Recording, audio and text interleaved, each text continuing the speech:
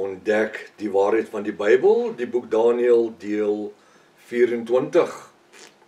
Ek is professor Hannes Redlinghuis van die Eerste Gemeente van Jaffa in Suid-Afrika, Pretoria, Montana. Sou u belangstel in enige van die Bybels, Bybelboeke, die Restoration of the Original Sacred Name Bible, uh ek wil nog steeds sê die verbande Bybel in die wêreld, Uh hoekom skielik sal die duiwel nou op en af spring en die ouens sekere goed wil weet oor die verbanning? Die ouens is bekommer, die duiwel worry. Is goed, ons laat hulle worry. Ons het nie 'n saak met dit nie. Uh sou jy belangstel in enige inligting, kontak ons 0722 367 124. Gaan na ons webtuiste https://skynstreep jafashua.co.za. Halleluja. As dit die eerste keer is dat u dalk na die reeks kyk, baie welkom. Mag u dit verskriklik interessant vind. Maar gaan asseblief na deel 1, begin by Daniël deel 1, die boek Daniël deel 1. Anders gaan u regtig al die inligting hê wat ons alreeds gedek het nie. Dit is ook uiters noodsaaklik dat u sal registreer by YouTube uh ons noem dit subscribe, registreer sodat jy die kennisgewings kan kry van die verskillende boodskappe. Tannie, mooi Afrikaans, né? Ons kom al right reg, né? So dat jy al die kennisgewings kry. ons kom al right reg. uh sodat al die kennisgewing kry van die verskillende boodskappe. Uh vergeet nie die TikTok boodskappe nie, stuur dit rond. Dis powerful, dis powerful. Weet jy hoeveel mense van die TikToks af gaan na ons webtuiste toe en kom uit by die geopenbaarde woord.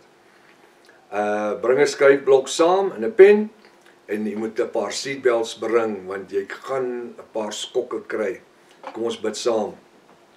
Wonderbaar raadsman, sterke Elohim vrede vors. Ons wil vanmôre sê baie dankie. Baie dankie dat U ons geroep het om lig te wees in 'n donker en 'n verlore wêreld daar buitekant dat hy vir ons vars water gemaak het. Want hy sê vir daai Samaritaanse vrou 2000 jaar gelede, "Geef my water, gee ek vir jou my water." En as jy vir my water gedrink het, strome van lewende water sal opspruit tot in der ewigheid. En ek sê dankie Vader dat ons op 'n bo-natuurlike manier elke jafis hierdie bo-natuurlike water ervaar het dat hierdie fontein oopgegaan het en dat ons nie kan wag om te praat nie en te getuig nie en die woord uit te dra nie. Salf dit vanmôre in ons harte en laat dit vir ons vanmôre manna wees, geopenbaarde woord. Geef vir ons sielste mensies om die woord te ontvang en geestelike oor om te hoor wat jy vir ons wil leer. Ons vra dit in die mooiste naam, die naam bo elke ander naam. Die naam Jafashua, die volk sê haleluja. Haleluja. Baie welkom by ontbyt met Prof Hannes. Vertrou dat hierdie studie vir u 'n wonderlike blessing gaan wees vir môre. Uh ons is besig met die boek Daniël en ek is nog steeds hierso by vers ons is met Daniël 2 besig. Ek kan net dit sê. Uh hoofstuk 2 en ons is by Daniël 2 vers 44. Nou ek het begin praat uh gister teen die einde hierso Maar in die dae van die koning sal Jaffa van die hemele 'n koninkryk verwerk wat in die ewigheid nie vernietig sal word nie. En die heerskappy daarvan sal op geen ander volk oorge, oor, oor, oorgelaat word nie. So ek was besig met dit te praat gisteroggend oor die getalle. Soos die sand aan die see en die sterre aan die hemel. Uit jou saad in jou saad sal jy geseënd wees. Enkel saad. Nie saadde nie. Paulus kom daar in Hebreërs en hy praat en hy sê hy het verwys na die saad, nie saadde meervoud nie. Paulus sê dit. Paulus het die openbaring gekry. Verstaan u? So waar uitkom ons, ek en u as Jafiste? Ons kom uit die saad van Abraham. Ja, maar ons is heidene. So what? So wat? Galasië 3:26-29 sê ons wie in Jafashua geonderdompel is naas tot bekering gekom het, is in Jafashua beklee. Ons het die bruilofskleed aangetrek. Daar's nie Jood of Griek, vryman of slaaf, man en vrou nie, maar volgens die belofte van Abraham is ons erfgename geword aan elkeen van sy belofte. Waarvan is ons erfgename? Van die ewige lewe. Soos die sterre van die hemel, sand aan die see. Israel, die volk, was nog nooit soveel nie. Jy sien, die mense, die Bybel sê hulle kyk in 'n spieël en 'n raaisel en hulle ken ten dele en hulle profeteer ten dele. Hy sê maar gaan 'n tyd kom wanneer ons by die geopenbaarde woord gaan kom, wanneer dit vir ons gaan oopmaak. Hier's 'n revelation. Dis 'n revelation hierdie. Halleluja. Ek is bly ons is deel van hierdie onvernietiglike koninkryk van Jafashua. Halleluja. En nie die katolieke nie, in nie 'n een geld wêreldstelsel finansiële stelsel, een VVO regering en en alles kan ons stop nie. Dit kan nie die Jafiste stop nie. Weet jy hoekom? Want ons gaan hemel toe voordat die goed als vasgemaak word. Die woord sê so. Anders het Jaffa gelieg. En Titus in Hebreërs sê hy's nie 'n mens dat hy kan of lieg sou lieg nie. Sal hy iets sê en dit nie waar maak nie. Iets 'n koninkryk verwerk wat in der ewigheid nie vernietig sal word nie. En die heerskappy, die heerskappy Daai heerskappy moes sekerlik 'n hoofletter H gewees het. Maak dit 'n hoofletter H in jou Bybel. En die heerskappy daarvan sal aan geen ander volk oorgelaat word nie. Nie aan die Israeliete nie, nie aan die moslems nie, nie aan niemand nie, nie aan die NAR, New Apostolic Reformation, nie aan die protestante nie, nie aan die katolieke nie. Dit sal daardie koninkryk verbrysel. Dit hierdie klip koninkryk wat uit die berg uitkom. Dit is die 6ste koninkryk. Het jy dit geweet? Hy het 5 koninkryke gehad. Babylon, Mede-Perse, Griekeland, Rome, die voete, 5 koninkryke, die 6ste koninkryk. Jaffa en die klip wat uit hom loskom, die seun Jafashua. En hierdie koninkryk Hy sê in die koninkryk verwek wat in ewigheid nie vernietig. Hy het dit verwek. En niemand kan dit vernietig nie. Die Katolieke het deur naamsveranderings en taalveranderings en Bybelveranderings en manuskripveranderings en hersienings in die Bybelgenootskappe van Suid-Afrika en die en die Roman Catholic Bible Federation en al die World Bible Federations kan net almal die die die tekste probeer verander en die goed bring. Maar weet jy Jaffa het 'n manier wat hy die ware geopenbaarde woord uitbring al die tyd. En dit moet vir my en vir u so excited maak. Halleluja, opgewonde tannie, sorry man opgewonde maak dat ons in hierdie wonderlike tyd lewe waar mense in afwagting is. Waar hulle soek na die waarheid. En weet jy wat? Ek en jy sit met die waarheid, die geopenbaarde waarheid. Daar is nie 'n godsdiens wat hierdie waarheid het wat ek en jy het nie. Want ons is nie katolieke nie, ons is nie Christene nie. Ons is nie boeddiste nie, ons is nie hindoes nie, ons is nie moslems nie. Ons is totaal iets anderster. Ons is deel van hierdie ewige koninkryk wat verwek is. Halleluja. Halleluja. Halleluja. Halleluja. Ons is deel van 'n onvernietigbare koninkryk. Daar sê hy dit. Koninkryk 'n verwek wat in ewigheid nie vernietig sal word nie.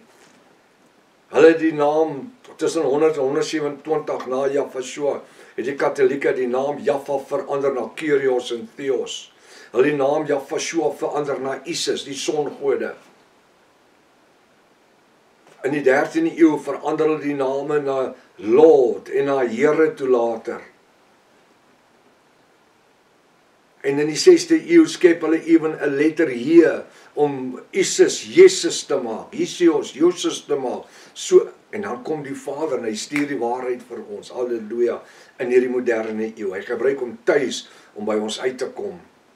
Om met my te gesels, om met my om my te kom irriteer totdat ek op die plek kom waar hierdie bo-natuurlike woord vir my net oopgegaan het. Die grootste wonderwerk in my lewe. Halleluja. Dit is dit is onbegryplik. En as ek sien hoe dit oor die wêreld versprei, dan sê ek Jaffa is in beheer. Dis sy koninkryk, ek sien my koninkryk nie. Dis nie my werk nie. Hy sê dis 'n onvernietigbare koninkryk. Hy sê dis 'n onver die Vader van die hemele het hierdie koninkryk vir hom opgerig. Hebreërs 1, hy het 'n hy het 'n engel gevat en hy maak hom sy seun. Gaan kyk na Hebreërs 1 vers 1 tot en met vers 14. Aan wie van die ander engele het hy gesê: "U is my seun, vandag het ek u gegenereer." Gegenereer beteken verheerlik. Want wie van die ander engele het hy gesê? Hy sê: "U is my seun." Hy sê hy's die bloudruk, die afskynsel van die heerlikheid van die Vader. Wat is die seun? Hy's die bloudruk, die afskynsel van die heerlikheid van die Vader. Voor enige iets gewees het in die hemel was die seun reeds gewees in die gedagtes van die Vader. Halleluja. Jahwe ons Elohim. En hy gee hom 'n naam bo elke ander naam. Dan lees Hebreërs 1. Vat vir jou sommer twee seatbelts en een bo-oor, sommer 3. Maar moenie Abdulson kry nie, dis rejects, kry ordentlik is. Dat jy nie seer kry nie. Die grootste openbaring. Die grootste openbaring. Hoe hy die seun gegenereer het. Hy het hom gegenereer. Die Afrikaans stel dit die mooiste van al die vertalings. Gegenereer, hy het hom verheerlik. Dan sê hy vir die engele, julle moet hom aanbid. Nou in die 33 sê hy, o God, u God het u met vreugde olie ge. Hy noem hom 'n God, 'n Elohim, die Vader, die skepper van hemel en aarde, noem die seun ook 'n God. Hy sê o God, u God die Vader, het u met vreugdeolie gesalf, bo u metgeselle, bo u metgeselle. Wie sê metgeselle? Sy ander engel vriende. Sy ander engele vriende. Hy het hom gesalf, hy het hom opgetel, hy het hom verhoog. Hy het hom rang gegee. Oeg man. Die woord is so eenvoudig geskryf in die kerk het dit vir ons als toegehou. Dis revelation woord, dis geopenbaarde woord. Hebreërs 1 vers 1 tot 14 gaan lees dit. En hy sê ons is deel van hierdie onvernietigbare koninkryk. Geen mens kon dit vernietig nie. Die oomblik toe hy sterf, die Afashua in die doodryk instap, toe dink hulle dis als verby. Maar weet jy wat, terwyl hy sterf en hy uitroep Vader, in u hande lê ek my gees en hy sterf. Toe begin die ewige lewe meer dan ooit tevore funksioneer. Toe kom die plan van Vader Jaffa in totale momentum en tot vandag in hierdie 21ste eeu het dit nog nooit gestop nie. En weet jy wat maak my excited? Ek en u is deel hiervan. Ons het deel hieraan. Ons het deel hier aan ons ons dit is dit's vibrant. Dit beweeg. Het jy 'n reisiesperd gesien wat klaar gehardloop het? Sy muscles maak so. Maar ek vir jou een ding sê as jy oor die in die in die roog in die gees kan kyk, dan sien jy dit dit gaan so. Ja, vas besig. Die doderyk en die demone en die gevalle engele en die Satan self, hulle vrees. Hulle sidder en hulle beef by die aanhoor van die naam Jafashua. Halleluja. Halleluja. Hy maar in die dae van die koning sal Jaffa van die hemele 'n koninkryk verwek wat in der ewigheid nie vernietig sal word nie. En die heerskappy daarvan sal aan geen ander volk oorgelaat word nie. Dit sal die koninkryk verbrysel, daardie koninkryke verbrysel en daar sal 'n einde aan maak, maar self sal dit vir ewig bly staan. Dit kan nie vergaan nie. Hulle het alles in die wêreld gedoen om dit te stop. Hulle het godsdiens uit die skole uitgehaal. Hulle het godsdiens uit die kleuterskole uitgehaal. Hulle het godsdiens uit die parlemente uitgehaal. Ek gebruik die woord godsdiens. Hulle het godsdiens uit die uit die universiteite uitgehaal. Hulle het godsdiens selfs uit die kerke uitgehaal. Wat? Ja. Ja, daar's kerke wat nie meer glo aan die Satan nie. Jy geweet Satan was deel van die godsdiens geweest. Dit is deel van die van die prediking van die woord. Demoniese magte, gevalle engele. Nou sê hulle hierdie gevalle engele was seuns van God gewees in die 33. Nee, gevalle engel kan nie 'n seun van God wees nie. Hy's 'n demoon, hy's 'n gevalle, hy's vervloek. Hy't geen reg, hy kan nie eens terugkom in die hemel in nie. Hy's bestem vir die doderyk en vir die vir die helse vuur wat wag. Hierdie ewige koninkryk bestaan uit bloedgewastes. Jafiste, bruid van Jafashua. Halleluja. Kry my boek. Die mens, siel, gees en liggaam. Graf, doodryk, hel of hemel. So dik swart A4 boek. Ek het 13 jaar aan hom gewerk of oor 'n tydperk van 13 jaar aan hom gewerk. Daar's inligting daarin wat in geen ander boek is nie. Wat geopenbaarde woord is. Hy sê vir nie 'n swart boek nie. Jy kan jy moet hom nie by 'n kers lees of by 'n lamp nie. Dat jou hare sal regop staan. Jy sal grillings kry, jy sal snaaks voel. En dis nie spokies nie. Dit word aan geen ander volk oorgeraad nie. En sal die koninke verbrysel, hy sal die ander koninkryke verbrysel en daar 'n einde aan maak. Hy gaan 'n einde daaraan maak by die slag van Armagedon. Halleluja. Weet jy wat? Die die voorreg is dat ek en u weet als vooruit. Ons is tans besig met die reeks oor die Efrat rivier in die boek Openbaring. Jogg, daar's soveel inligting daarso. Begin met dit by deel 1, die boek Openbaring. Die Efrat rivier en die boek Openbaring. Self sal daar nie 'n einde aan gemaak word nie. Maar self sal dit vir ewig bestaan. Vir ewig, vir ewig en altyd. Ekskuus tog. 'n Bietjie koel hier in die ateljee want die winter is op pad, né? Ja, so skielik het ons bietjie winter gekry. Sien ons sê sneeu is wit op die berge en Bloemfontein lyk soos 'n sprokiesland. Prys Jaffa. Maar as jy ons is nie bang nie. Ons is nie hy sê nee, ons is nie sissies nie, ons is nie bang nie. Die ouens in Bloemfontein, hulle is nie bang nie. So wat sê die woord? Dat ek en jy, ek en u deel aan hierdie bonatuurlike koninkryk. Iewerste in die liggaam pas ons in. Iewerste in hierdie liggaam pas ek en jy in. Want Jaffa is die hoof. En dis juis omdat hy die hoof van die liggaam is, dat dit onvernietiglik is. Want hy sê voordat ons enigiets dink of sê of doen, dan weet Vader Jaffa en Jaffa Shua dat hy is deur die Ruach HaKodesh die roog openbare reeds. Maar wat 'n voorreg dat ek in u deel kan wees van dit wat twee wat wat 570 jaar, jaar gelede geprofeteer was of kom ek sê anderste verskoon my 2570 jaar gelede geprofeteer was maar vandag saak maak in jou en in my lewe tot môreoggend as Jaffa lewe gesondheid spaar Maranatha Ja, Fashua kom weer. Halleluja.